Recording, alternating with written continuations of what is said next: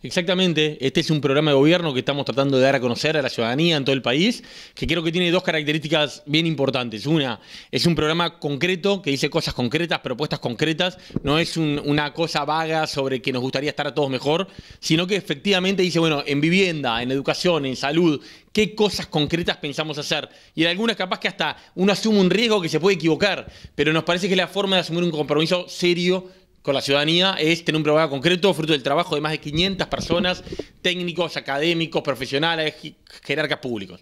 Y lo otro que tiene este programa es que tiene una mirada ambiciosa de lo que el Uruguay puede ser. Este programa parte de la base de que Uruguay puede dar un salto al desarrollo, puede ser un país mucho más desarrollado. Tenemos todo, tenemos condiciones como para vivir en un país eh, con mejores ingresos, con mejor salud, con mejor educación, acercarnos a, a otro nivel de desarrollo.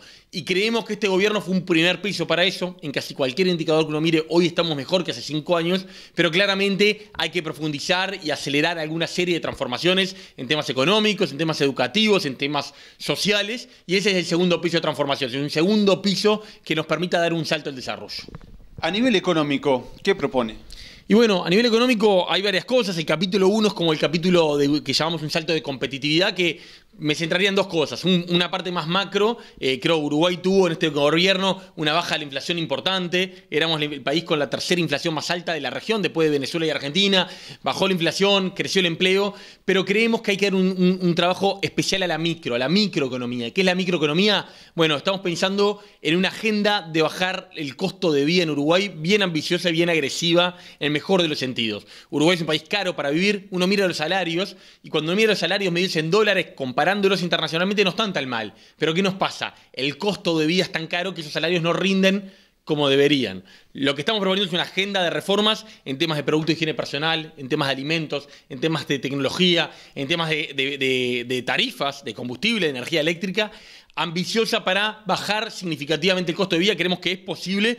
Es una agenda que es en cada mercado, en algunos casos es eliminar una prohibición a la importación de combustible, por ejemplo. En otros casos es cambiar una regulación en el Ministerio de Salud Pública que hace que no haya competencia. Eh, por ejemplo, aquí en Tacuarembó se solicita constantemente por parte de los empresarios políticas de fronteras, tomando en cuenta que estamos a 100 kilómetros de Rivera Libramento. ¿Hay algo de eso en ese programa? Sin duda que hay. Esto, esto que estábamos hablando recién es el, es el corazón de lo que nosotros creemos que son las verdaderas políticas de frontera, que es ¿Por qué tenemos tanto problema en la frontera? ¿Por qué tenemos tanta gente de Tacuarembó que va a Rivera a hacer, hacer compras, a echar nafta y a hacer tantas cosas más? Porque Uruguay es caro.